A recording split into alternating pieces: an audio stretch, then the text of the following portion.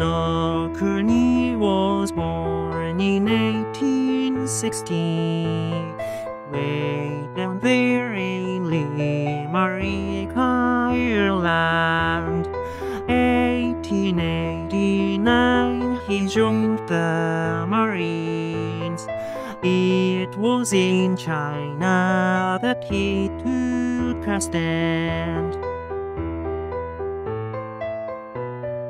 That's where Private Cooney fought the boxers, who all thought that bullets could not hurt them.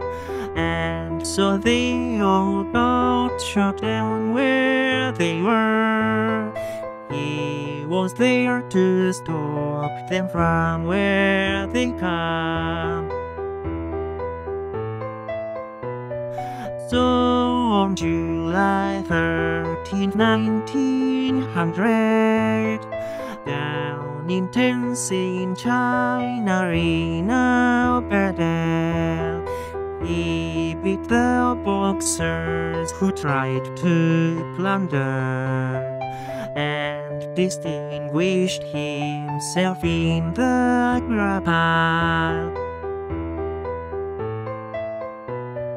He won the Medal of Honor that day.